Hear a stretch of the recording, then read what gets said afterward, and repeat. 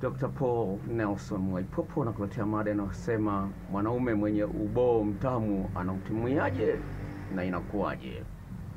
Well, nikuletea mada hii of course kukuelewesha jinsi gani wanaume wengi wanashindwa kumfikisha mwanamke kileleni, na tafiti zinaonyesha kwamba asilimia kati ya 67 hadi 84 ya wanawake huwa wanadanganya wanaume kwamba wamefika kileleni, kumbe hawajafika. Sasa hii hali inatisha na kasi ya wanawake kuchepuka uh, ulimwenguni imeongezeka kubwa kiasi kikubwa sana, na vile vile miongoni mwa tafiti ambazo zimefanyika hivi karibuni kwamba kiwango cha furaha miongoni mwa wanawake waliomo kwenye mahusiano ya kimapenzi kimeshuka sana. Ni vipi mwanamke anashindwa kufurahia wewe? Kwa sababu gani umeshindwa kutumia zana zako vizuri? Unaweza kuwa na miguu yote miwili mizuri yenye afya nzuri, lakini usicheze mpira mzuri kama Messi. Unaweza kuwa na mikono mizuri yote na afya nzuri, lakini usiweze kupiga gitaa kutoka muziki kwa unatoa kelele, au kupiga kinanda ikatokea kelele badala ya muziki. Kwa hiyo kuwa na uume haimaanishi kwamba wewe ni fundi wa kutumia uume huo. Kwa kuna ufundi wa kutumia uume huo.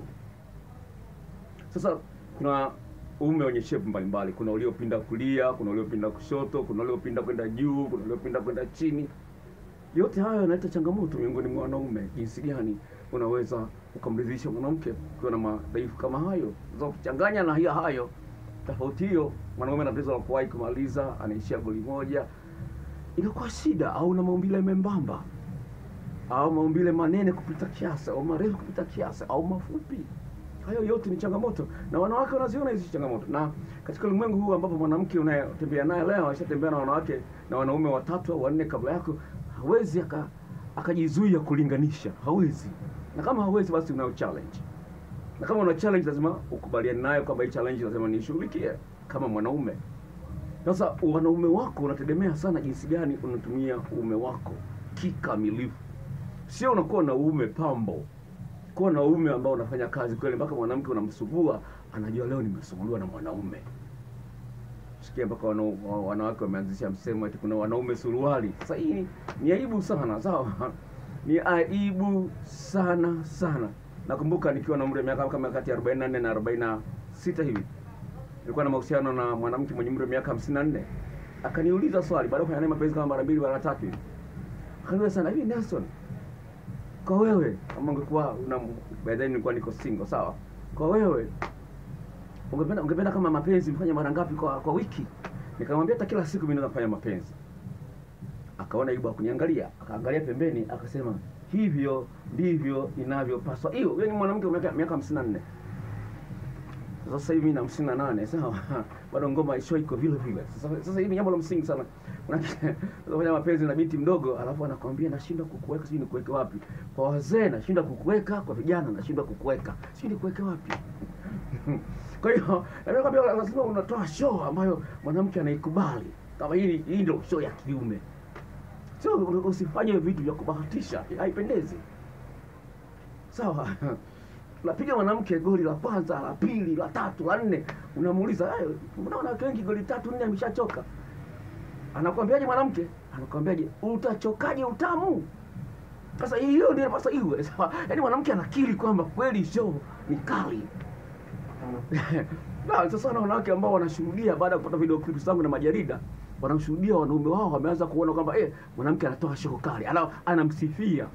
Yaani kabla ya hajapata maarifa ya kutosha, huyu mwanamke mwanaume alikuwa anafanya mapenzi kama anaenda choni wala apige kelele, hana mguno wowote. Lakini sasa hivi mwanamke anapiga, mwanaume anapiga kelele mpaka mwanamke anaamua kumziba mdomo. Acha bwana, utasikia watoto. Sasa hii ndio pasa hiyo, sawa. Kwa hiyo kama nilivyotangulia kuzungumza, jinsi gani unatumia ume wako ni jambo la msingi sana uweze kufahamu, sawa. Mm. Sawa, mwanamke mmoja akasemaje? Akasema hivi every P, unajua kwa Kiingereza P inawakilisha nini? Feels different, not just because of the size but how it is used. Sawa, my first boyfriend anasema hivi, kila kila uboo sawa, una unaleta utamu tofauti, sio kwa sababu ya saizi yake sawa, bali jinsi gani unatumika. Anaendelea kusema huyu dada sawa, anasema My first boyfriend was short and of average 5 inches. Sasa boyfriend wangu wa mwanzoni alikuwa na ume wake ulikuwa na urefu wa inchi tano. ambao ni chini ya kiwango cha kimataifa sawa so my first boyfriend was short and of average 5 inches i know it because he was very insecure about it and he told me it will grow akasemaje jamaa alikuwa na ume wa inchi tano ambao ni chini ya kiwango sawa akasema ninafahamu kwamba alikuwa na uume wa design hiyo kwa sababu yeye mwenyewe alikuwa alishaupima akaona ni mdogo alafu akamwambia bado unakuwa wakati na miaka 26 wewe mwanaume. Sasa miaka 26 hukui tena. Nikiba- nikibamia nikibamia. Sawa. Akasema hivi sasa- sikiliza dada anaendelea. Anaendelea. Anasema anasema uh, I haven't measured my current boy, boyfriend but he is noticeably bigger. Anasema sijampima mpenzi wangu mpya niliye naye, lakini kwa kuangalia tu unajua kwamba wewe ni mkubwa, unatosha. Sawa sawa. Sema, I haven't measured my current boyfriend but he is noticeably bigger and longer. Sawa, yani ni nene alafu ni ndefu. Sawa. The additional length made more position more feasible and more enjoyable due to less chance of it slipping off. Anasema hivi, huyu kutokana na urefu wa ume wake, sawa, imesababisha kuna uwezekano wa kufurahia tendo la ndoa kwa mikao mbalimbali na unafurahia zaidi. Kwa sababu gani? Uwezekano ni mdogo sana wa ume huu kuchomoka. Kwa sababu gani? Ni mrefu, kwa hiyo huwezi ukachomoka. Alafu mwanamke ah, nini tena nini tena, mbona amechomoka? Kumbe nikibamia lazima kichomoke kidogo alafu chembamba. Sasa hali kama hiyo kwa zinatisha. Kwa hiyo jinsi gani unatumia, hata kama unakibamia kuna ma, kuna maarifa yake, sawa. Jinsi gani unatumia, hilo jambo la msingi sasa, sawa sawa. Kwa la msingi ambalo napenda kulizungumza hapa, sawa lazima uangalie kwanza uume wako umepinda kwenda kulia au kushoto au umenyoka. Kama umenyoka, tunaenda pamoja, pamoja pia umenyoka Mungu hujawapinda. Kwa hiyo kama umepinda, lazima kuna mikao maalum ambayo inapaswa uitumie ili usije ukam- ukamuumiza huyu dada. Ndio kuna mikao maalum. Sasa utaniulize mikao gani, mbao wangu imepita kushoto, ni mkao gani? Nitakuchaji shilingi elfu tano tu kwa ushauri, nitakwambia.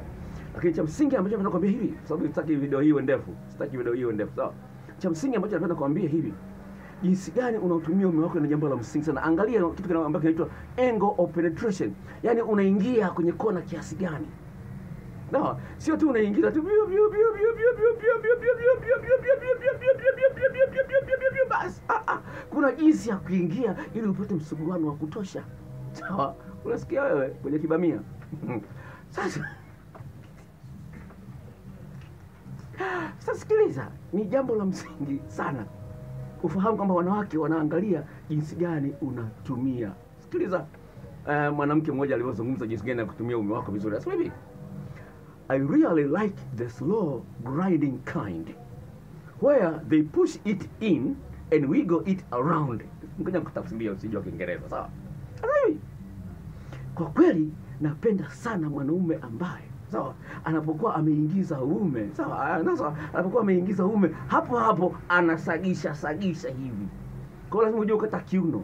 Unasaga yale maeneo. Unapokuwa unasaga ule uke unakuwa unautanua. Unapokuwa unautanua tanua hivi sawa na kisimi kinayo kinatanuka. Kisimi kinapata hisia na kisimi ndio kinachobeba utamu mwingi. Mpaka inaonekana mboo ni tamu maanake imefanikiwa kusugua kisimi kwa muda mrefu. Wasagaji unafikiria wanafanyaje wanaofanya mapenzi kwa wanawake wanawake. Unafikia wanafanyaje? Kama sio kuchezea kisimi kwa sehemu kubwa atachezea kwa mdomo atajemea kwa mkono vitu kama hivyo. Kuna mambo mengi sana ya wasagaji. Sawa yani nataka kuambia. Kwa hiyo anasema hivi hiyo hiyo ni njia moja. Sawa. Unapoingiza ile sehemu yako yenye mavuzi na kama mavuzi inakuwa ime imebana hapo. Kwa hiyo unasakisha sakisha namna hii. Wakati umo uko ndani sawa sawa unaona? Chukulia huu hapa ni ume wako sawa. Ah unaona unaona vizuri unaona? Chukulia huu hapa ni ume wako sawa sawa. Au chukulia kidole cha katikati cha katikati sawa hivi sawa. Unaona? Huu ni ume wako umeingia sawa. Huyu dada anachozungumza hivi. Unapokuwa umeingia hivi sasa huku unasakisha sakisha. Kwa hiyo lazima unakata kiuno. Unaona? Unaona? Staili hiyo unaona? Kwa hiyo ni njia ya wewe kuonekana ni mtamu kwa mwanamke.